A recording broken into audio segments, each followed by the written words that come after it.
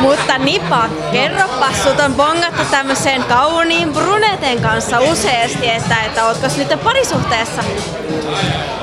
Äh, kyllä, kyllä, kyllä, mun, kyllä mun täytyy sanoa, niin mä, mä en koe olevani tällä hetkellä niin kuin parisuhteessa. Äh, mutta on bongattu varmasti ja näin on, mutta tota, kyllä parisuuden merkit, merkittää kyllä ihan viime peleissä sitä, että et, et mä seurustelen ihan oikeasti niin kuin NS joka, päivä, niin kuin joka päiväisesti. Mä oon aika fyysisesti siinä hommassa mukana. Sitä, sitä mä en tällä hetkellä ole. Tapailet? Uh, satunnaisesti.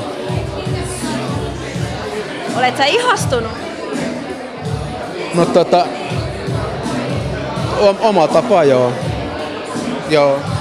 Oi, miten ihana. Onko tää kuinka pitkään nyt, että ootte kauan tuntenut? Kerro mulle. Tota, mä oon päättänyt mä oon päättänyt tiettyjen juttujen jälkeen ja tiettyjen asiayhteyksien jälkeen, että, että niin yksityiselämää mä koskien niin näitä asioita, mä en kommentoi mennä tästä eteenpäin lainkaan ennen kuin mä oon sopinut, että alan mä, jos, jos, jos mä alan olemaan tai seurustelemaan jonkun toisen kanssa, että et, et, et mikä voisi olla pelimeininki ja pelihenki. Mulla, kun mulla, it, mulla ei ole tarvetta tulla julkisuuteen, että et, et, tässä on tää ja tää. Et, tota, kyllä mulla, mä, mä, mä oon kuitenkin niin, niin oikonen tämmönen farmarijärjellä varustettu jätkä, että kyllä mä arvostan ennemmin niin siis semmosia ihan ihan privaattiasioita ja noin poispäin. Ja sen takia mä oon päättänyt, että tota, tapahtuu sit mitä tapahtuu niin kuin tuolla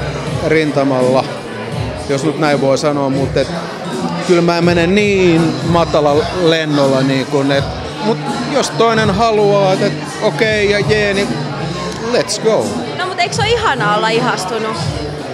Siis rakkaus on maailman paras asia, et, niin kuin, ja, ja, ja ihastuminen ja kaikki siihen liittyvät, totta kai.